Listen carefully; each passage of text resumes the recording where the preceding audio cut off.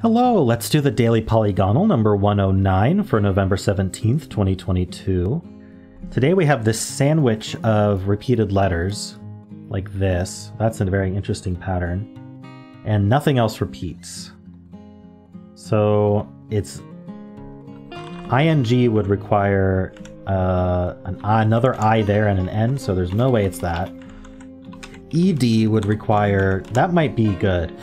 Excuse me, like double T, double L, double N, lots of options there.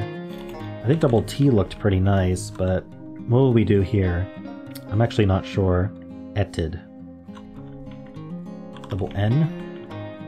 Alright, well, I'm not sure if I'm going to be able to get this just by staring at... Let's look at R first, though. Aired. Ending with aired. I can't think of a, three letters to put here. Like, I think of unaired, but... Yeah. Okay, so let's do machined, see if we do end in ED. We do end in ED. So we have an N and an I, but they are not...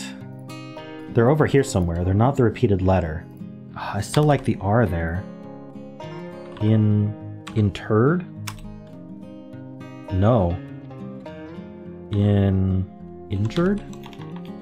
That's not how you spell that. Not at all.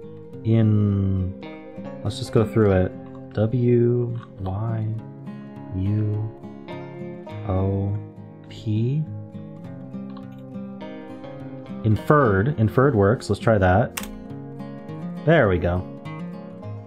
All right. Who knew there was the in-erd trap? Got it in three as usual.